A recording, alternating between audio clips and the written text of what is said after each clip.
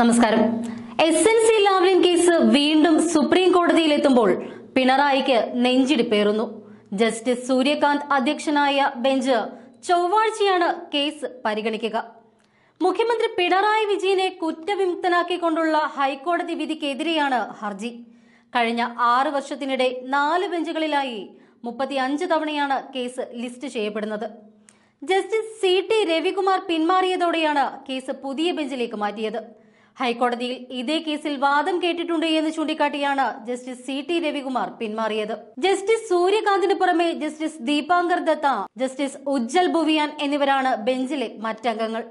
കഴിഞ്ഞ സെപ്റ്റംബറിലും കേസ് പരിഗണനയ്ക്ക് എത്തിയെങ്കിലും സി ബി ഐക്ക് വേണ്ടി ഹാജരാകുന്ന additional solicitor general S V Raju മറ്റൊരു കേസിന്റെ തിരക്കിലായതിനാൽ കേസ് മാറ്റുകയായിരുന്നു. ഇപ്പോഴിതാ വീണ്ടും ലാവ്ലിൻ കേസ് പരിഗണനയ്ക്കെടുക്കുമ്പോൾ പിണറായി വിജയന് മുന്നിൽ തന്റെ പാതാളക്കുഴി തുറക്കുകയാണ്. പന്നിയാർ ചേങ്കുളം പള്ളിവാസൽ ജലവൈദ്യുത പദ്ധതികളുടെ നവീകരണത്തിന് കാനഡയിലെ എസ് എൻ സി ലാവ്ലിൻ കമ്പനിയുമായി കരാറുണ്ടാക്കിയതിൽ ക്രമക്കേടുണ്ടായി എന്നും ഇതുവഴി എൺപത്തിയാറ് ദശാംശം രണ്ട് അഞ്ച് കോടി രൂപയുടെ നഷ്ടം സംഭവിച്ചു എന്നുമാണ് ഈ കേസ്. കേസിൽ പിണറായി വിജയൻ ഉൾപ്പെടെയുള്ളവരെ കുറ്റവിമുക്തരാക്കിയ നടപടിക്കെതിരെയുള്ള സി ബി ഐയുടെ അപ്പീലും ഹൈക്കോടതി വിചാരണ നേരിടണമെന്ന് പറഞ്ഞ മൂന്ന് പ്രതികളുടെ ഹർജിയുമാണ് സുപ്രീം കോടതി പരിഗണിക്കുന്നത്. നേരത്തെ പലതവണയായി സി ബി ഐ ഉൾപ്പെടെ ആവശ്യപ്പെട്ടതിന്റെ ഫലമായാണ് കേസ് നീട്ടിവെച്ചത്. രണ്ടായിരത്തി പതിനേഴ് ഓഗസ്റ്റ് ഇരുപത്തിമൂന്നിനാണ് ലാവ്ലിൻ കേസിൽ പിണറായി വിജയൻ മുൻ ഊർജ വകുപ്പ് സെക്രട്ടറി കെ മോഹനചന്ദ്രൻ ഊർജ വകുപ്പ് ജോയിന്റ് സെക്രട്ടറി എ ഫ്രാൻസിസ് എന്നിവരെ കുറ്റവിമുക്തരാക്കി വിധി പുറത്തുവന്നത്. രണ്ടായിരത്തി പതിനേഴ് ഡിസംബറിലാണ് മൂന്ന് പേരെ പ്രതിപട്ടികയിൽ നിന്നും ഒഴിവാക്കിയതിനെതിരെ സി ബി ഐ സുപ്രീം കോടതിയെ സമീപിച്ചത്.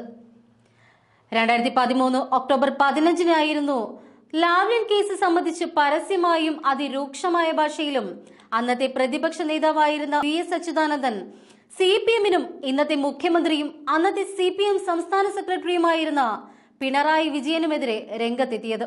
ലാവ്ലിൻ അഴിമതി കേസ് തന്നെയാണെന്നാണ് താൻ ഇപ്പോഴും വിശ്വസിക്കുന്നത് എന്നാണ് അന്ന് അദ്ദേഹം തുറന്നു പറഞ്ഞത്. കേസിൽ സി എ ജി റിപ്പോർട്ട് ഇതുവരെ തിരുത്തപ്പെട്ടിട്ടില്ല. റിപ്പോർട്ടിൽ എനിക്ക് ഇപ്പോഴും വിശ്വാസമുണ്ട്. അഴിമതിയില്ല എങ്കിൽ അത് കോടതിയെയാണ് ആദ്യം ബോധ്യപ്പെടുത്തേണ്ടത്. അതിനുള്ള ശ്രമത്തിലാണ് രണ്ടു കൂട്ടരും വാദികളും പ്രതികളും. അതിലാരും തന്നെ ജയിച്ചിട്ടില്ല മുന്നോട്ട് പോവുകയാണ്. ഇങ്ങനെയായിരുന്നു അന്ന് വി എസിൽ നിന്നുമുണ്ടായിരുന്ന പ്രസ്താവന. സി പി എമ്മിലെ ഉൾപാർട്ടി പോരാട്ടങ്ങളിൽ വി എസ് അച്യുതാനന്ദൻ എന്നും ഒളിഞ്ഞും തെളിഞ്ഞും ആയുധമാക്കിയിരുന്ന വസ്തുതകളിൽ പ്രധാനപ്പെട്ടത് ലാവ്ലിൻ കേസായിരുന്നു. ജനകീയ മുഖമുള്ള വി എസ് ലാവ്ലിൻ കേസിൽ ഞാൻ സി എ ജി റിപ്പോർട്ടിനെ വിശ്വസിക്കുന്നു എന്ന് പറഞ്ഞ് പിണറായി വിജയനെ പ്രതിരോധത്തിലാക്കി. അപ്പോഴും പാർട്ടി ദേശീയ നേതൃത്വം പിണറായി വിജയനൊപ്പം തന്നെ നിലകൊണ്ടു. പാർട്ടി വിഭാഗീയതയുടെ പേരിൽ പോളിറ്റ് ബ്യൂറോ വി എസ് അച്യുതാനന്ദനെതിരെ നിരവധി തവണ നടപടിയെടുത്തു.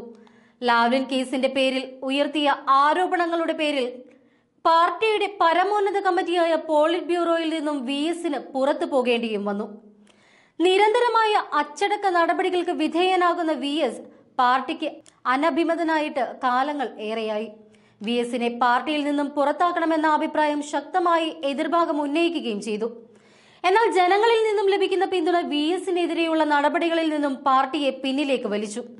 S N C Lavalin Kerala രാഷ്ട്രീയത്തിൽ സജീവമായിരുന്ന സമയത്ത് പിണറായി വിജയൻ പാർട്ടി സംസ്ഥാന സെക്രട്ടറി ആയിരുന്നു അന്ന് വി എസ് കലാപക്കൊടി ഉയർത്തിയപ്പോൾ പിണറായി സർക്കാർ സ്ഥാനങ്ങളൊന്നും തന്നെ വഹിക്കുന്നില്ല എന്നതായിരുന്നു കേന്ദ്ര നേതൃത്വത്തിന്റെ നിലപാട്. കേസുകളിൽ പ്രതിയാക്കപ്പെടുന്നവർ ഭരണഘടനാ സ്ഥാനങ്ങൾ വഹിക്കരുത് എന്നുള്ള പാർട്ടിയുടെ നിലപാടാണ് അന്ന് സി പി എം കേന്ദ്ര നേതൃത്വം വി എസിനെ പ്രതിരോധിക്കുവാൻ പുറത്തെടുത്തത്. വർഷങ്ങൾ കഴിഞ്ഞുവെങ്കിലും ലാവ്ലിൻ കേസിൽ വി എസിന്റെ നിലപാടിനും മാറ്റമുണ്ടായില്ല. ലഭിക്കുന്ന അവസരങ്ങളിലെല്ലാം പിണറായിയെ പ്രതിസന്ധിയിലാക്കാൻ വി എസ് ഈ കേസിനെ കേരളീയ സമൂഹത്തിനു മുന്നിലേക്ക് ഉയർത്തിക്കൊണ്ടുവന്നു. അതുവഴി പലപ്പോഴും സി പി എം പ്രതിരോധത്തിലാകുകയും ചെയ്തു.